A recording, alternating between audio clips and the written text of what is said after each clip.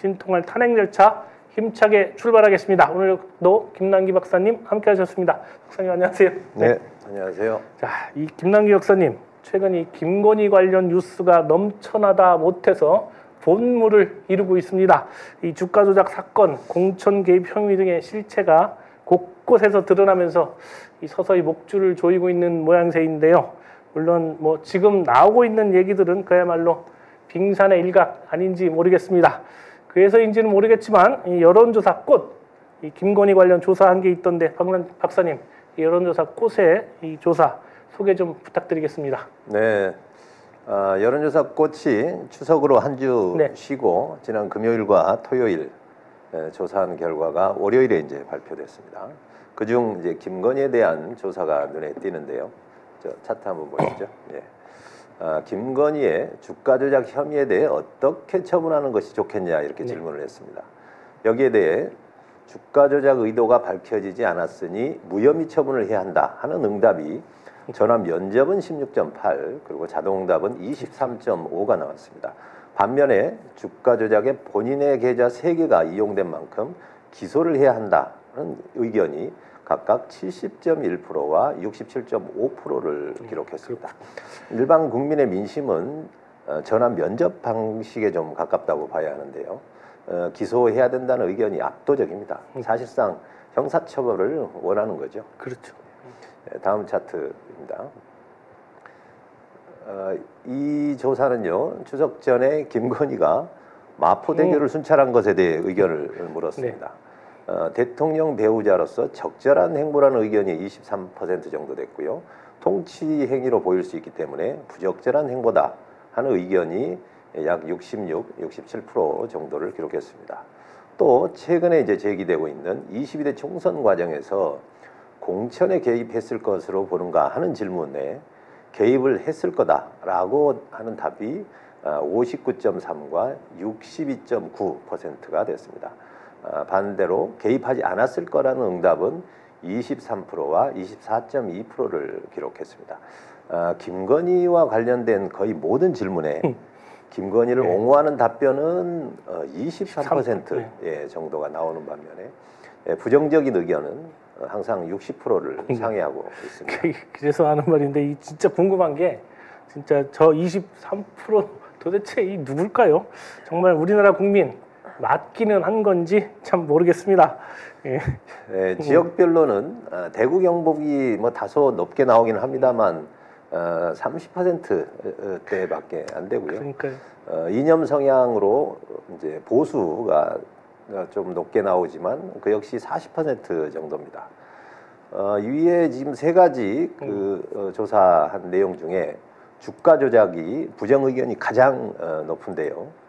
뭐 마포대교 좀 가면 어떠냐, 뭐 네. 또는 공천 개입 안 했을 거다 이렇게 김건희를 옹호하는 의견 가운데서도 주가 조작 혐의에 대해서는 그분들 중에 30%는 기소해야 된다 이런 네. 의견을 보이고 있습니다. 범죄니까요. 예, 주가 조작 사건은 이제 공범들 어, 2심 판결까지 이미 났고요.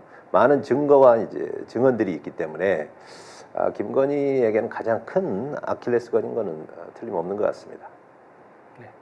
자 이런 참 이런저런 말들은 많지만 이 일반 국민들은 사실상 이 대통령은 윤석열이 아니고 김건희라고 생각하는 분들이 많다는 얘기 아니겠습니까 이거? 예, 이번 조사에서 이제 그런 조사도 있었는데요. 김건희가 국정 결정에 영향을 미친다고 생각하느냐?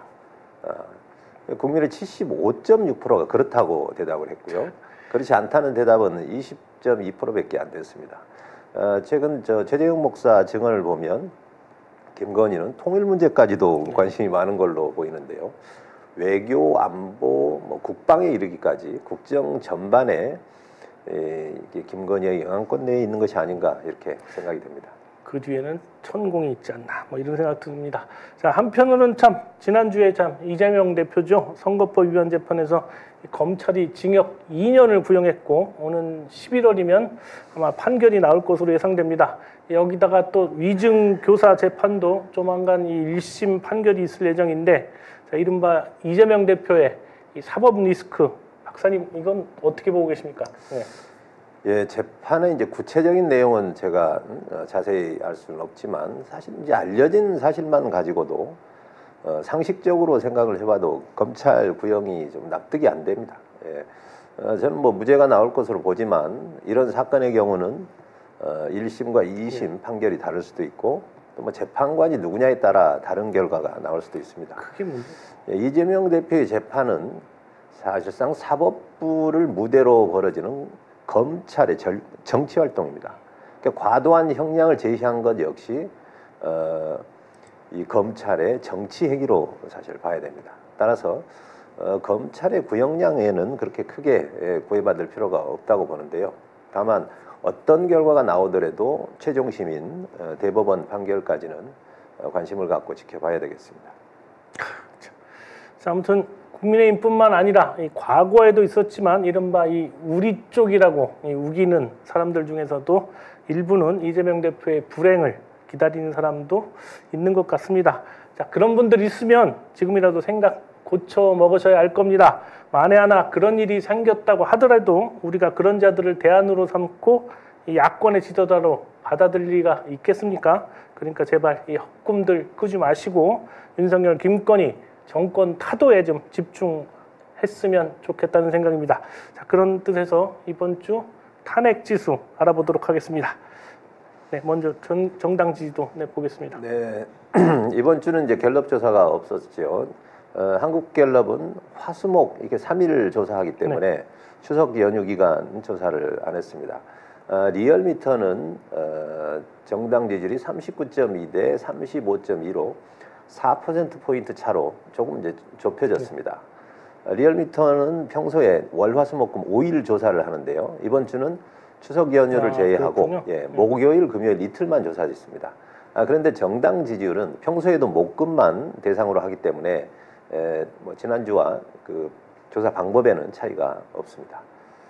그리고 여론조사 꽃은 어, 전화 면접에서 민주당이 39.5, 어, 국민의힘이 28.5를 기록했고 ARS는 48.1대 30.2로 조사됐습니다. 2주 전과 정당 지지율에는 큰 차이가 음, 없습니다. 어, 리얼미터와 여론조사 꽃의 차이가 좀 많이 나는 이유는 조사 요일이 다르고 조사 시간대의 차이가 있기 때문입니다. 어, 그 결과 응답자의 이념 성향을 살펴보면 리얼미터는 보수가 진보보다 어, 47명이 많은 반면에 여론자, 여론조사 꽃은 반대로 진보가 보수보다 64명이 더 많습니다. 다음 차트 보시죠. 네. 어, 여론조사 꽃에 네. 예, 대통령 국정 지지율을 이제 그래픽으로 준비해봤습니다. 먼저 어, 전화 면접 방식은 잘하고 있다가 23.1, 잘못한다가 75.2입니다. 역대 최저치와 최고치를 어, 기록했습니다. ARS는 27.3대 71.5이죠. 어, 매우 잘못하고 있다는 비율이 각각 53.4, 63.9를 기록하고 있는데요. 이런 절대적 비토층이 과반을 훨씬 넘었기 때문에 사실상 그 회복 불능 상태에 들어갔다고 봐도 되겠습니다.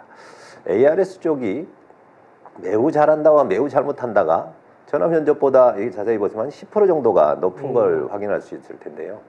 어, 아시다시피 ARS에는 양당에 대한 적극 지지층이 그만큼 많이 응답하기 때문에 이제 생기는 현상입니다. 어, 마지막 차트 보시겠습니다. 어, 지난주에 이제 갤럽이 긍정률 20%로 역대 최저치를 기록했었죠. 네, 그렇죠. 예, 리얼미터가 어, 지난주 27%였었는데요. 이번에 30.3으로 소폭 반등을 했습니다. 어, 오차범위 이내이기도 하고요. 특별히 반등할 만한 요인이 없었기 때문에 어, 다음 주에는 다시 20%대로 하락할 가능성이 높아 보입니다. 어, 여론조사 꽃이 이 전화 면접에서 역대 최저치를 기록하면서 탄핵 지수가 3.2를 어, 기록했고요. ARS도 탄핵 지수 2.5로 어, 지난주보다 올랐습니다. 이제부터 어, 본격적으로 여론조사에서 윤석열에 대한 탄핵 여부를 직접 묻는 조사가 어, 필요한 아, 시기입니다. 그렇군요. 자, 이 하루가 다르게 나날이 이 탄핵 열차가 탄력을 이 받고 있다는 생각 오늘도 어김없이 들었습니다. 자, 김남기 박사님 오늘도 수고 많으셨고요. 자, 서울의 소리 제공 유상의 신통할 내일 아침 6시 30분에 다시 찾아뵙겠습니다. 끝까지 함께 해 주신 시청자 여러분 대단히 고맙습니다.